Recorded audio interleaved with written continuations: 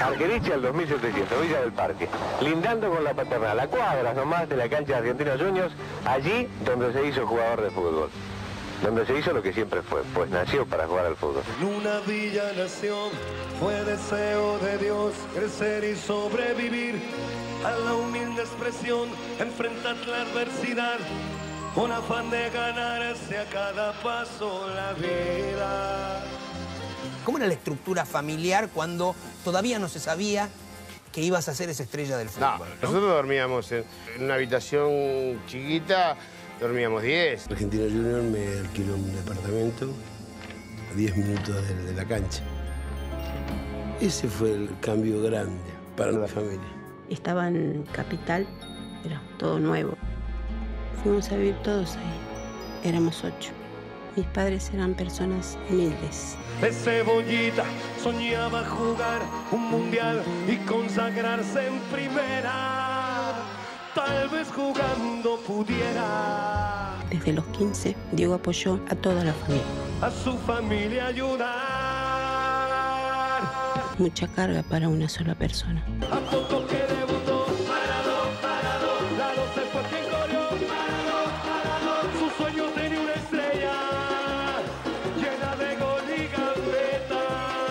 casa nos dio él. Nos regaló para una Navidad, los departamentos que tenemos. Después, si necesitamos algo, él siempre está. Siempre comandé yo, Jorge, porque primero porque era el varón. ¿Cuánto te llevan tus hermanas? Y yo tengo hermanas de 50 y pico de años, 53 creo que tiene la Ana. ¿Hacían también un poco de mamá o no? No, Sí. eso era... Nosotros nos ganamos el pan día a día. No es que queremos sacarle. Yo me crié con amor.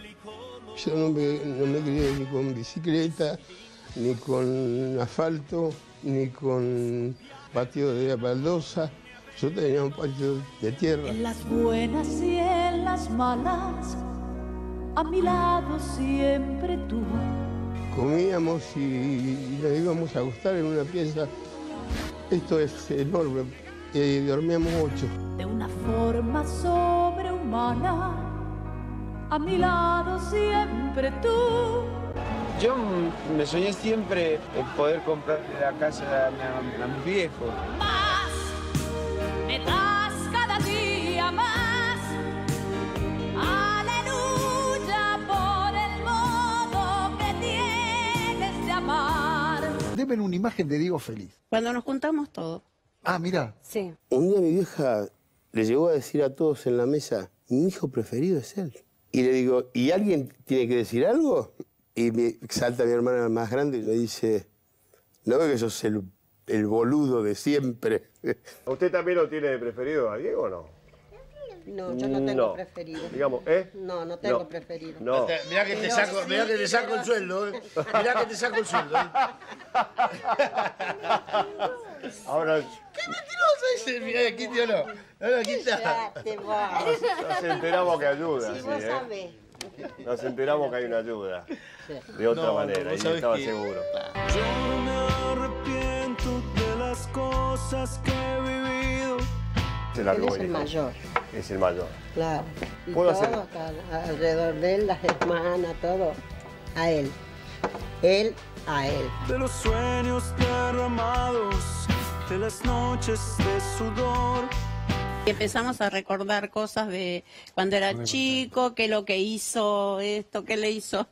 Sí. Anécdotas de... Entonces nos reímos y pas- la pasamos, ¿Es nostálgico? Ya te digo, por los padres. Yo creo que nunca dejé de ser feliz. El tema es que se me fueron mis dos viejitos. Ese es el único problema que tengo. Después, lo que me robaron, lo que me sacaron, lo que me siguen sacando, no me importa.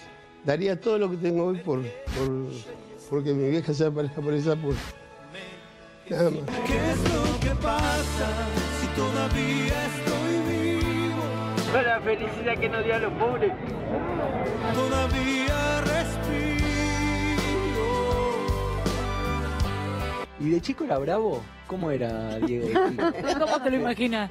Bravísimo era. Esto no lo conté nunca. Un día no sé qué, qué cagada me mando, rompo un par de zapatillas, me parece. Entonces mi viejo me espera en la puerta de casa. Pasás, me dice.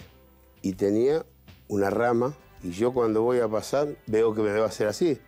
Entonces yo digo, no.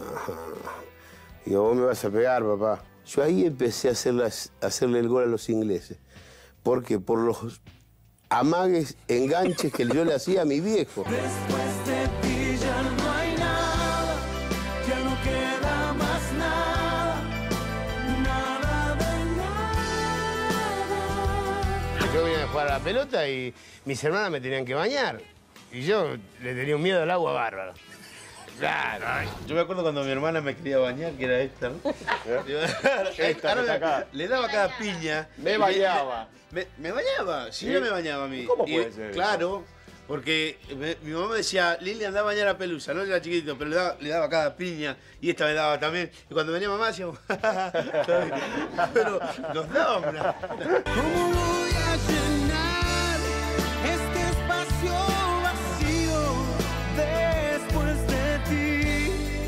me di cuenta que mi vieja, mi vieja sufrió de dolor de estómago a los 13 años. Y fui boludo hasta los 13 años. Mi vieja nunca tuvo dolor de estómago. Siempre quiso que comiéramos nosotros. Era hambre. Claro. Cada vez que llegaba la comida, decía, me duele el estómago. Mentira, no alcanzaba, Jorge. Por eso estoy orgulloso y la amo a mi vieja.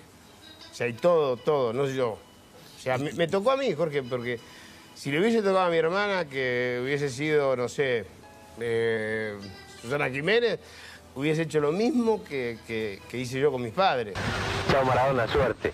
Después de ti ya no hay nada, ya no queda más nada. Qué lindo. Hermoso. Qué lindo.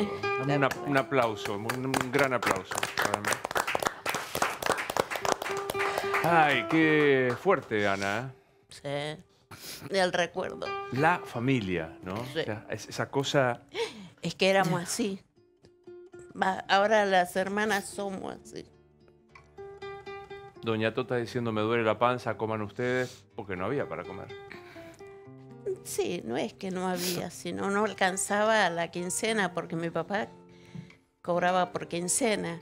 Era corto el sueldo para. Claro. Entonces sí, pero de comer, mm, decir, nunca nos faltó. Pero. Eso lo, era justo, sí, estaba ajustado. Y ella no quería que, que nosotros, eh, nos falte a nosotros. Claro. Una obvio. madraza. ¿Te, te quedó algo por decirle a Diego? No. ¿Le dijiste No. todo? Se decían, porque, digamos, ahí se los ve, toquetones, eh, franelero, pero te- ¿vos querés decirle, che, Diego, te quiero?